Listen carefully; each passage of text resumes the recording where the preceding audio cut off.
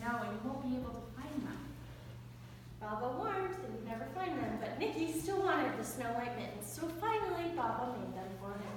Oh, Nikki, I'll make you white mittens, but when you come home, I'm going to check if you're safe first, and then I'm going to check if you have your white mittens.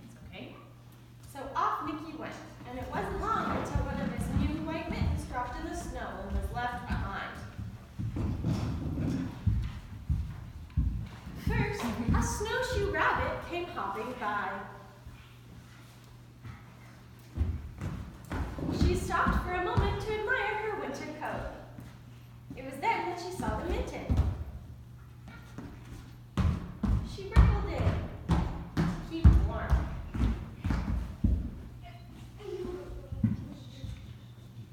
Next, a hedgehog came snuffling by.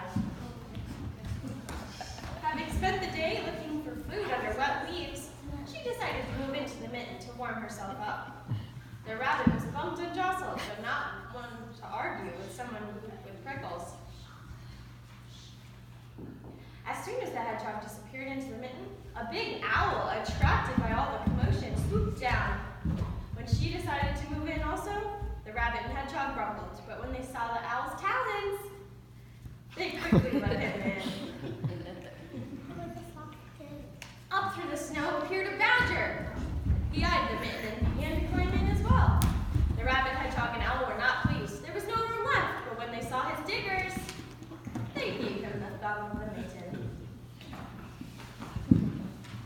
A great big bear lumbered by. He spied the mitten all clumped up.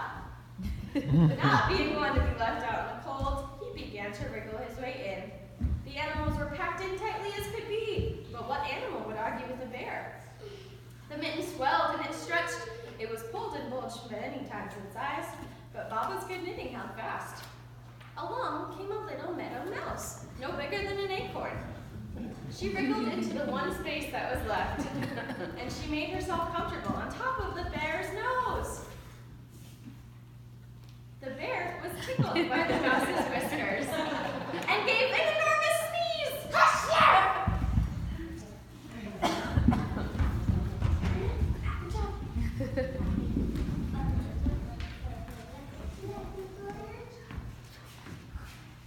It scattered the animals in all directions. On his way home, Nicky saw a shape in the distance. It was his lost mitten. As he ran to catch his snow white mitten, he saw Baba's face in the window. First, she looked to see if he was safe and sound. Then she saw that he still had his new mittens, a little different than before.